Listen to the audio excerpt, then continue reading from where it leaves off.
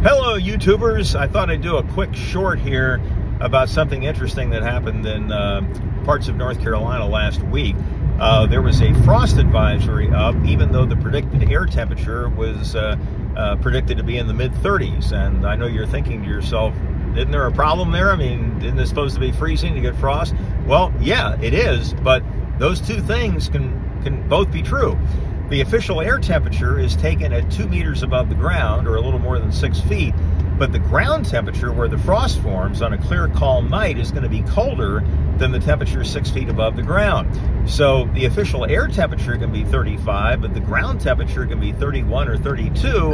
And if that's the case, then you can get the formation of frost. So those two things are not mutually exclusive. They can actually happen simultaneously, and you still get the frost.